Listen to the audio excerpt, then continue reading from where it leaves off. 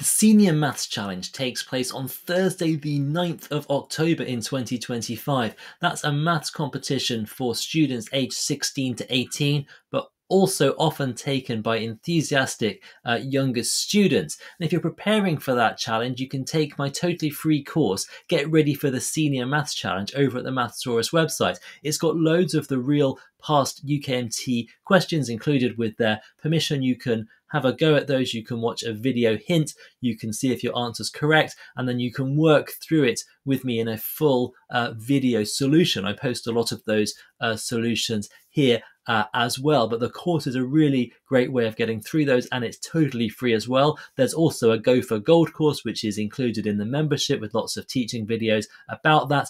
And there are some occasional live classes that I offer as well.